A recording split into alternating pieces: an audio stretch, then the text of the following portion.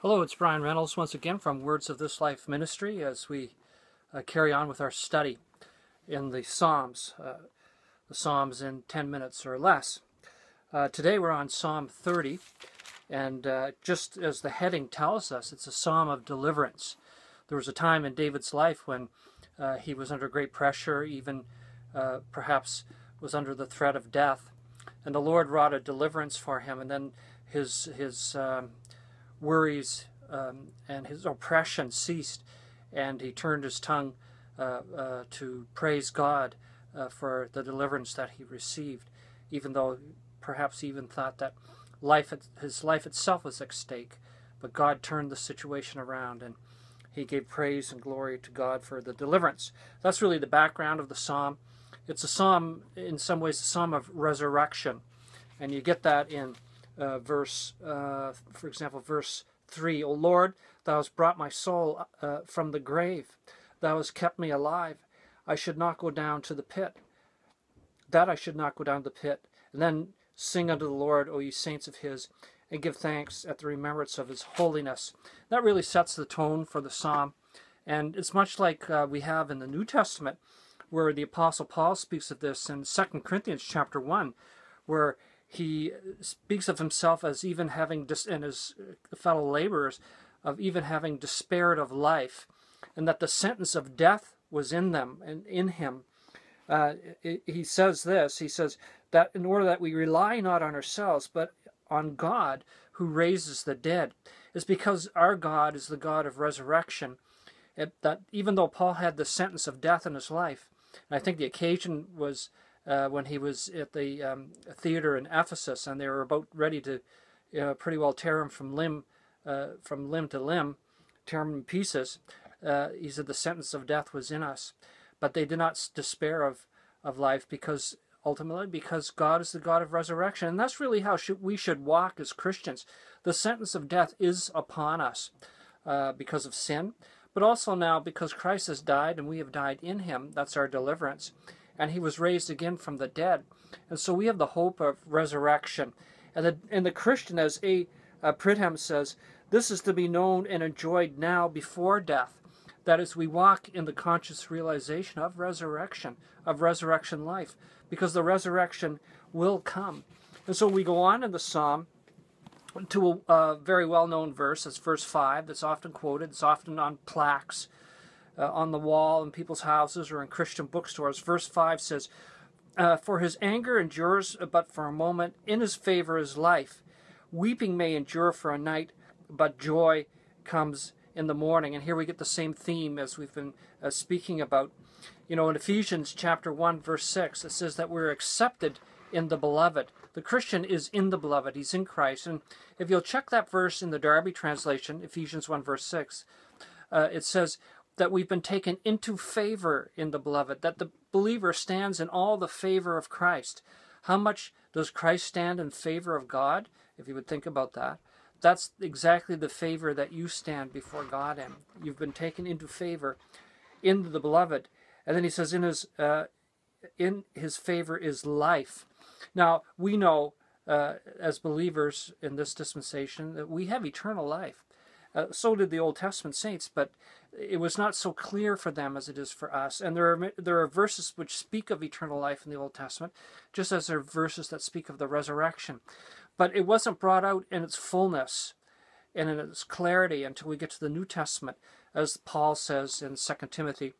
He says that life in immortality has been brought to light through the gospel. Now we have the full blaze, the full glory of the doctrine of eternal life and the hope of resurrection, present about eternal life and the hope of resurrection. And then the well known verse weeping may endure for a night, but joy comes in the morning. And I'm thinking that the Lord Jesus was was uh, had this verse probably on his heart when he spoke to his disciples on the night of his betrayal when he was about to be re- arrested in John's Gospel, uh, chapter 16. And in verse 19 we read, Now Jesus knew that they, they were desirous, that is, the apostles, to ask him, and said unto him, Do you inquire among yourselves what I said a little while, and you shall not see me? And again a little while, and you shall see me. The Lord had been speaking and alluding to his death and his resurrection. And, and so he goes on in verse 20 Truly, truly, I say unto you, that you shall weep and lament, but the world shall rejoice, and you shall be sorrowful, but your sorrow shall be turned into joy. A woman, when she is in travail or in labor with giving birth to a child, has sorrow because her hour has come.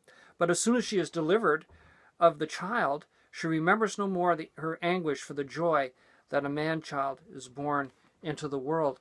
And here's the figure of death and resurrection, of travailing and pain and suffering, but then all that turned to joy. And the Lord told the disciples, you know, when they crucified me, the world will will uh, rejoice, and you will weep and sorrow.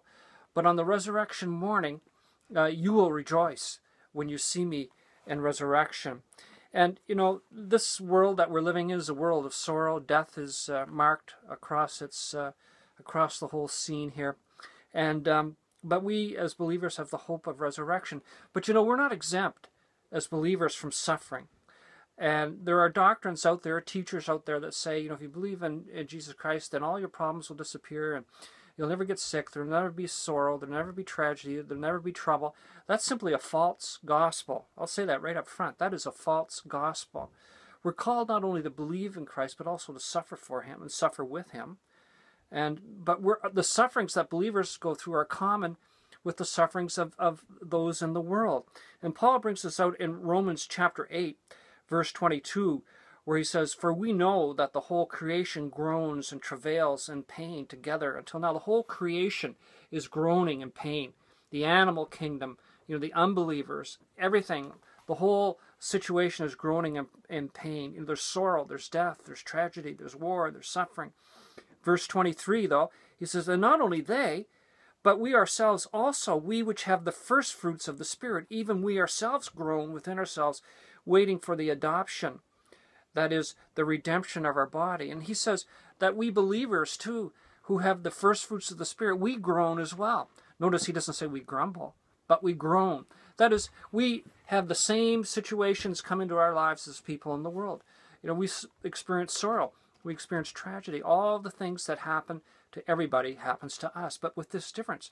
We have the first fruits of the Spirit. The Spirit has come as a down payment, a first fruit of the glory to come, of, as a promise of what will come.